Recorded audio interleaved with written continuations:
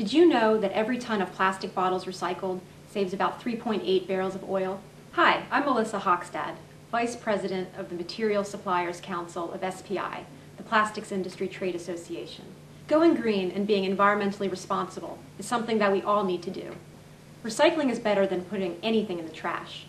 We must help improve our environment and preserve our natural resources by sorting and recycling our plastics garbage. To get started recycling, check with your local municipality to find out which types of plastics will be accepted at your local recycling center. Most likely, your community currently collects only plastic bottles and containers labeled with codes 1 and 2, and that's okay.